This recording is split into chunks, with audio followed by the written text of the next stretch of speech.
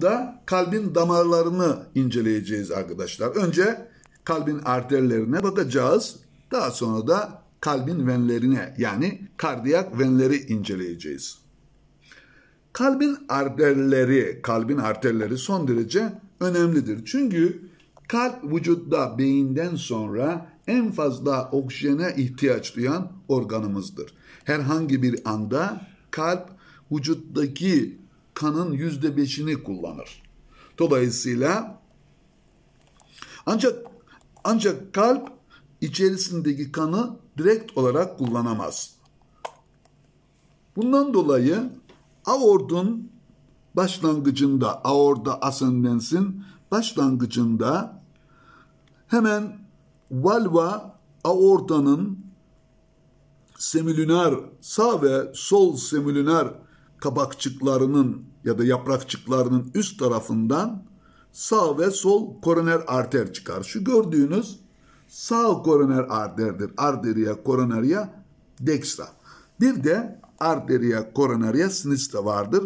O şu sol orikula tarafından kapatıldığı için görünmüyor. Ancak onun iki terminal dalını görebiliyoruz burada. Bakın şu arteria interventricularis anterior, şu ise arteria circumflexus'tur. Bu sol koroner arter ve onun dallarına sonra döneceğiz. Şimdi biz arteria coronaria dextra'ya bakalım. Ancak bu koroner arterlerin dallarına bakmadan önce bu koroner arterler kalbin hangi kısımlarını beslerler? Onları özetleyelim. Önce sağ koroner artere bakalım. Sağ koroner arter sağ atriumu, sağ ventrikulun büyük bir kısmını ama tamamını değil ama büyük bir kısmını ve daha sonra bu sağ koroner arter bakınız kalbin diyafragmatik yüzüne doğru ilerler ve sol ventrikülün şu sol ventrikülün diyafragmatik yüzünün bir bölümünü bir bölümünü besler. Bunun dışında, bunların dışında sağ koroner arter krusların proksimaline kadar, kalbin iletim sisteminde krusların proksimaline kadar ileti sistemine ait tüm yapıları besler. Yani bunu biraz daha açacak olursak nodus sinuatrialis'i besler, nodus atrioventricularis'i besler, his bandını besler ve crus texum ve crus sinistrum'un proksimal kısımlarını besler. Peki sol koroner arter nereleri besler? Bakınız şu şurada sol koroner arteri görüyoruz. Sol koroner arterin şu arteria interventricularis anterioru, şu ise circumflexusu. Sol koroner arter sol ventrikülü besler. Sol ventrikülü besler. Sol atriumun sol atriumun büyük bir kısmını besler. Ve sağ ventrikülün bakın şu sağ ventrikül sağ ventrikülünde küçük bir bölümünü besler. Ve septum interventriculare'nin ön 2 bölü 3'lük parçasını besler. Ve bunun dışında crus dextrumu ve crus sinistrumu besler. Şimdi arkadaşlar arteria coronaria dextra ve onun dallarını ayrıntılı bir şekilde inceleyelim. Arteria coronaria dextra'ya İngilizce'de right coronary arteri de denir. Yani bunu o, o harflerin kısaltılması RCA da denir buna.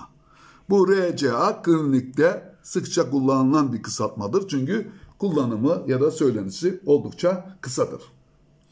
Bu sağ koroner arter, sağ koroner arter aorta ascendensin, şu aorta ascendensin başlangıcındaki sağ semilüner kabakçığın sinüsünden çıkar.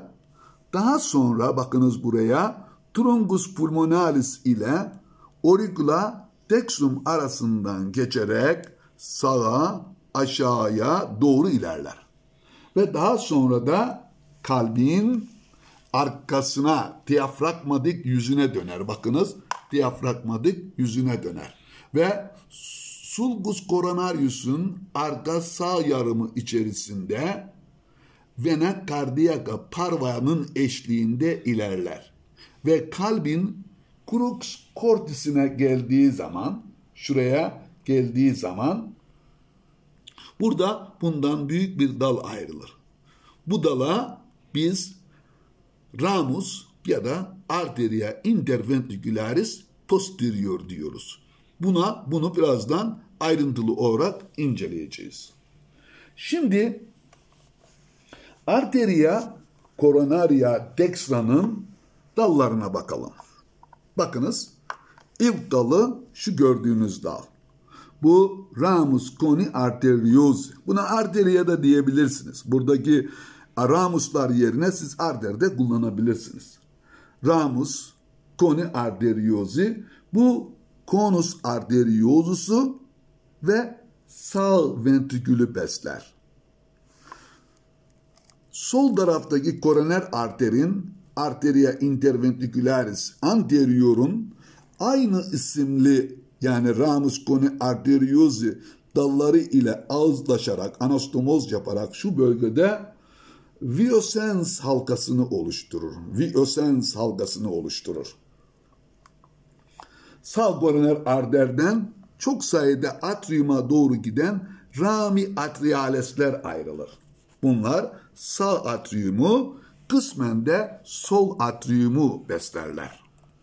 Bu rami atrialeslerden bir tanesi daha e, kalın olup o ramus nodi sinuatrialis olarak bilinir ve bu şu düğümü besler. Şu düğümü besler. Nodus sinuatrialis'i besler.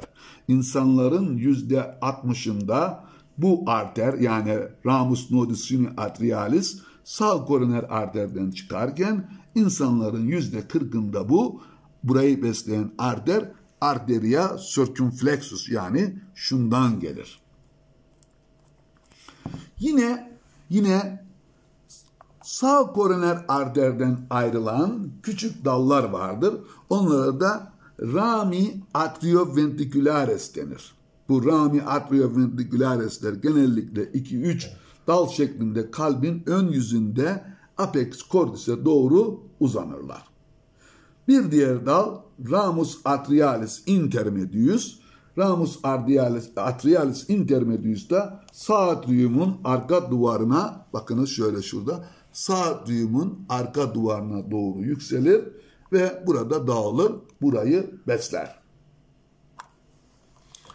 Bakınız sağ koroner arterin şu ana kadar anlattıklarımıza oranla daha büyük ve belirgin olan şu dalı arteria veya ramus marginalis dexter'dir.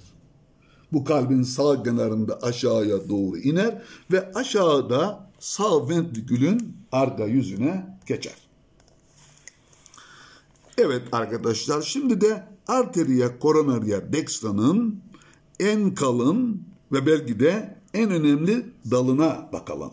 Bakınız bu dal ramus interventricularis veya arteria interventricularis posteriordur. Buna İngilizce posterior descending artery de denir. Yani PDA. Biz PDA'nın hangi koroner arterden geldiğine bakarak o kalbin koroner dolaşımının sağ dominant mı, sol dominant mı yoksa ko-dominant mı olduğunu söyleriz. Eğer PDA sağ koroner arterden kaynaklanıyorsa, köken alıyorsa bu kalp ya da o kişi sağ koroner dominanttır. Eğer sol koroner arter bu arteria circumflexus'ten köken alıyorsa bu kalp sol dominanttır. İnsanların yaklaşık yüzde onu sol dominanttır, sol koroner dominanttır. Yüzde yetmiş, yetmiş beş, sekseni ise sağ koroner dominanttır. Bazı kişilerde şu PDA eşit oranda hem sağ koroner arterden hem de sol koroner arterden köken alır. Bu durumda da bu, bu ko-dominant ko-dominant e, koroner arter dolaşımı vardır diye söylenir. Buradaki PDA yani posterior descending arterinden ayrılan ve ventrikül duvarını delerek ventrikül duvarını delerek septum interventrikülarenin arka parçasını besleyen incecik perforant delici dallar vardır. O dallara rami interventrikülare septalis denir. Bu bu dallardan birincisi daha büyük olup bu da bu da ramus nodi atrioventricularis'tir. Yani nodus atrioventricularis A ve düğümünü besleyen arterdir ve kişilerin yüzde sekseninde bu sağ koroner arterden çıkar, yüzde yirmisinde ise arteria circumflexus'tan çıkar. Yani şundan çıkar. Bu LCX olarak da bilinir. LCX olarak da bilinir bu. Arteria circumflexus. Şu. Evet arkadaşlar şimdi de arteria coronaria sinistra'ya bakalım. Bakınız arteria coronaria sinistra bu da yine bu da yine trungus pulmonalis ile trungus pulmonalis ile auricula sinistra arasından e, geçtikten sonra iki dala ayrılır. Bu dallardan bir tanesi arteria interventricularis e, anterior. Buna İngilizce'de left anterior descending artery LAD de denir. Sulcus interventricularis anterior içerisinde aşağıya doğru iner bu. Buna dul bırakan arteri de denir. Ve sulcus interventricularis anterior içerisinde vena cardiaca magna ile birlikte seyreder. Şimdi de bu LAD'nin dallarına bakalım. Bu LAD'nin dallarından bir tanesi bakınız ramus coni arteriosi. Bundan daha önceden de bahsetmiştim. Sağ koroner arterin aynı isimli dalları ile anastomoz yaparak e, viosens halkasını oluşturur ve hem sağ atriumu, e, özür dilerim hem sağ ventrikülü hem de konus arterios'un beslenmesine katılır. Bir diğer dallar bakın şunlar şu dallar bakınız bunlar da rami laterales ya da rami diagonaleslerdir. Bazen bu rami diagonaleslerden en üstteki sol koroner arter çatalının yani bifurkasyonsunun ortasından çıkar. O durumda sol koroner arter üçe dallanmış olur. Ona da sol koroner arter trifurkasyonu denir. Yani üçe ayrılımı denir ona. Şu LAD'den ayrılıp ventrikül duvarını delerek septum interventrikülarenin ön parçasını besleyen delici perforant dallar ayrılır. Onlara da biz e, ram, rami interventriculares septales diyoruz onlara. Evet, sol koroner arterin bir diğer büyük dalı şu gördüğünüz ramus circumflexus'tur. Bu sulcus coronaris içerisinde sola doğru uzanır ve sonuçta gider, bakınız sonuçta gider arteria coronaria dextra ile anastomoz yapar. Arteria coronaria dextra ile anastomoz yapan dalına bunun ramus atrialis anastomoticus ya da Kukel'in anastomotik arteri denir buna. Arteria circumflexus'tan ayrılan ve kalbin sol kenarı boyunca uzanan şu artere arteria marginalis sinister denir. Arteria circumflexus'tan kişilerin yüzde kırkında ramus nodi sinuatrialis, yüzde yirmisinde ise, ise ramus nodi atrioventricularis buradan ayrılır. Şimdi de arkadaşlar kalbin venlerine bakalım. Biz kalbin venlerini üç ana grupta toplayarak inceleriz. Bunlardan bir tanesi bakınız şu gördüğünüz sinüs coronarius. Sinüs coronarius kalbin venöz kanının yüzde altmışını toplar. Geriye kalan yüzde kırkını ise bu model üzerinde görmüyoruz onları.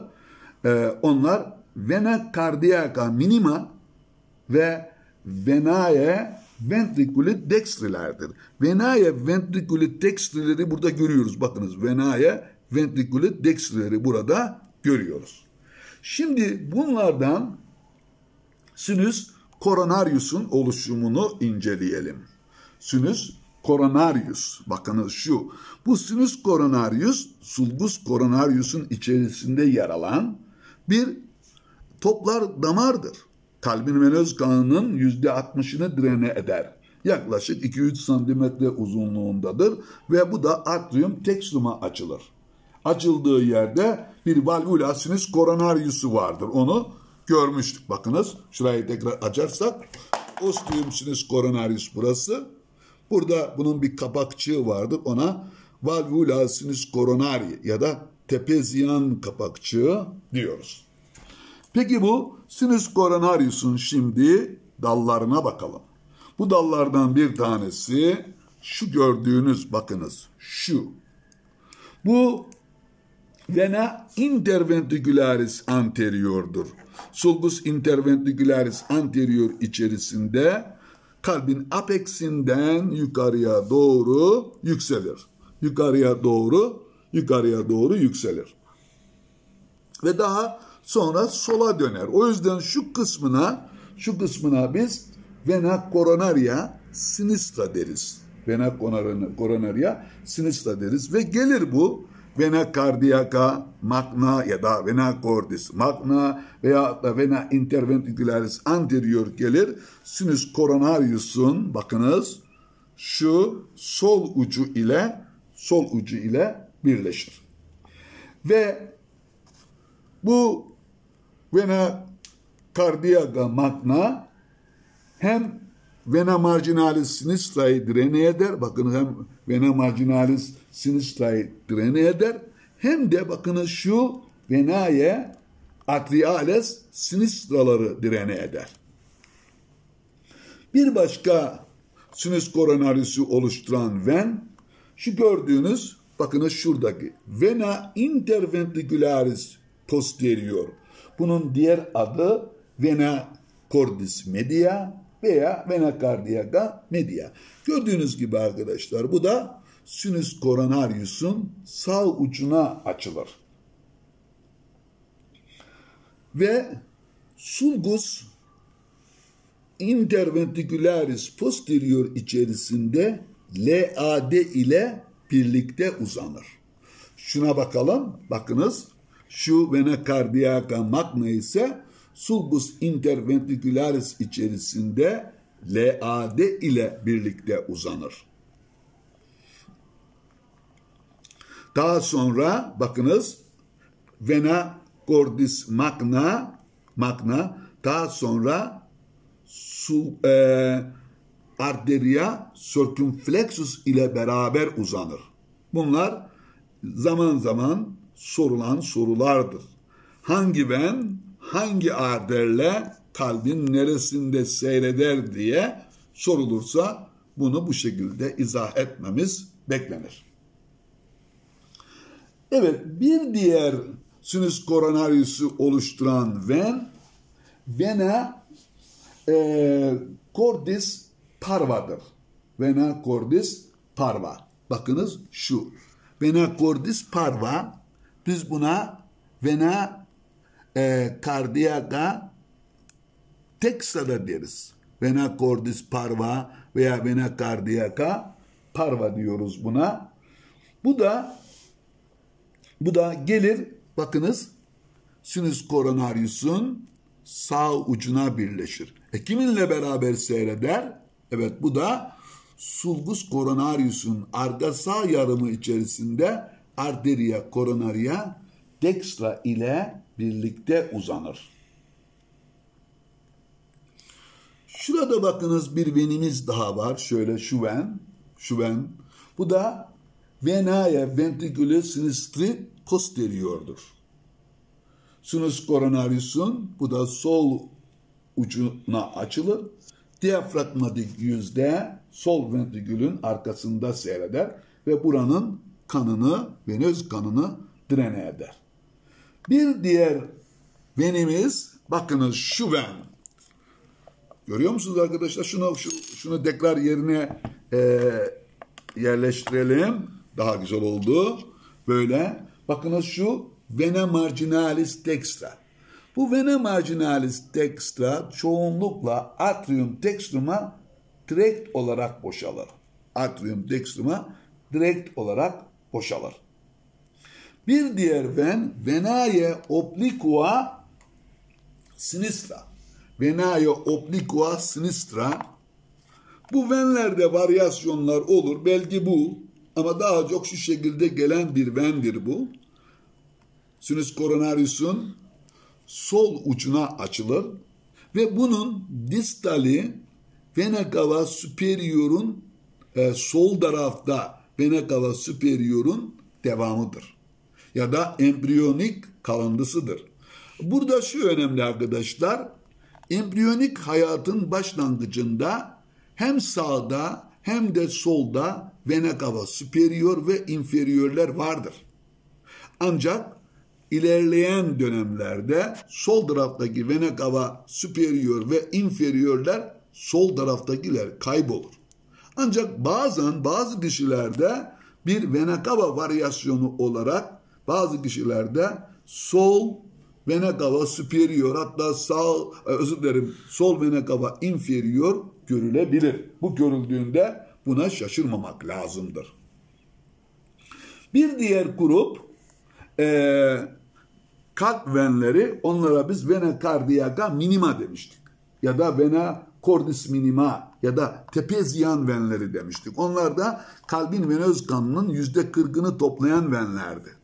Bunları burada görmüyoruz. Ancak ancak eğer biz ventriküllerin içerisine, atriumların içerisine bir büyüteçle bakacak olursak buralarda böyle özellikle de sağ atriumun içerisinde e, küçücük delikçikler görürüz. Tabii bunları burada görmüyoruz.